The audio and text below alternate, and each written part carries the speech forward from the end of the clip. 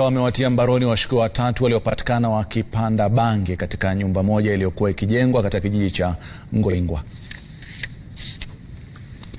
Ni mbinu mpya ya ukulima wa bangi kinyume na sheria ambayo washukiwa watatu kutoka mtaa wa Ngoingwa mjini Thika walichukua wasijue kwamba ipo siku maarifa yao yatagonga mwamba.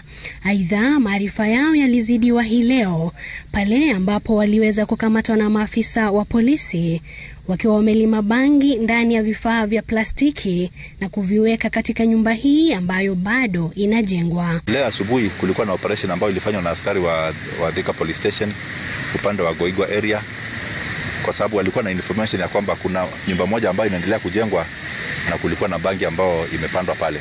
Watatu hao wanadaiwa kuhusika katika upanzi wa bangi hii iliyo na dhamani ya shilingi elfu nne kulingana na polisi, kwa minajili ya manufaa yao wenyewe na ya kibiashara.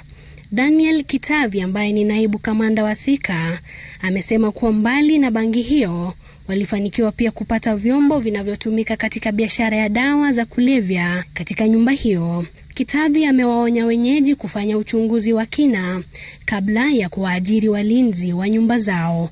Kuna wale watu ambao wanaendelea kujenga, nataka kuwahimiza kwamba kama maybe nyumba imefika mahali na haijaisha, mtu awache mtu kwa hiyo nyumba ambaye ni mtu ambaye anaaminika, kwa sababu kuna watu wengine ambao wanawachwa pale ambao maybe I can say they are so careless. Wakiwachwa pale wanaanza kuwa security wise ni riski. Kwa sasa washukiwa hao wanasubiri kufikishwa mahakamani na kujibu mashtaka kwa makosa ya upanzi na ulanguzi wa dawa za kulevya. Gladys Koech, runinga ya Citizen.